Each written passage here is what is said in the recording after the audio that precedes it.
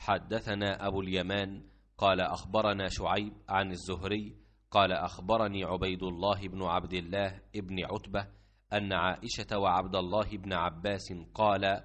لما نزل برسول الله صلى الله عليه وسلم طفق يطرح خميصة له على وجهه فإذا اغتم بها كشفها عن وجهه فقال وهو كذلك لعنة الله على اليهود والنصارى اتخذوا قبور أنبيائهم مساجد يحذر ما صنعوا.